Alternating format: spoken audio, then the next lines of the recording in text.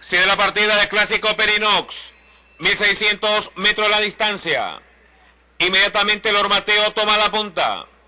En el segundo lugar se ubica Ninoska. En el tercer puesto por la baranda Faski. En el cuarto lugar Yamil Junior. Luego lo hace Farrell. A continuación ha quedado Somot. Luego dejaron a Basel. Faltan 1200 y es Lor Mateo el que corre en la delantera. Lor Mateo con cuerpo y medio de ventaja. En el segundo lugar, Ninoska. En el tercer puesto por la baranda lo hace Faski.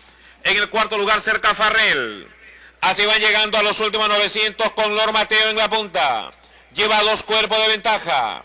Segunda, Ninoska. Tercero, Farrell. Cuarto, Yamil Junior. En el quinto lugar se ubica por la baranda Somot. Están en la última curva y es Lor Mateo el que corre en la delantera. Lor Mateo llevando dos cuerpos de ventaja. Segunda, Ninoska. En el tercer puesto Faski. En el cuarto lugar Farrell. En el quinto puesto ha quedado Somot. Luego está Yamil Junior. Más atrás Basel. Al momento de ingresar a la recta apareció Lor Mateo con tres cuerpos.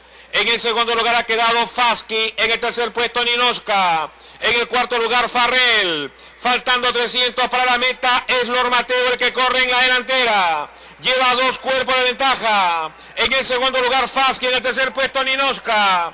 Faltan 150. Lor Mateo en la punta. Lor Mateo, cuerpo y medio de ventaja. Segunda Ninoska. Lor Mateo adelante. Lor Mateo primero. Llega la meta. Segunda Ninoska. El tercer puesto para Faski. Cuarto Yamil Junior. Luego remata su mod Farrell. Gana el clásico Perinox. Lor Mateo, el número 7. Con Víctor Fernández.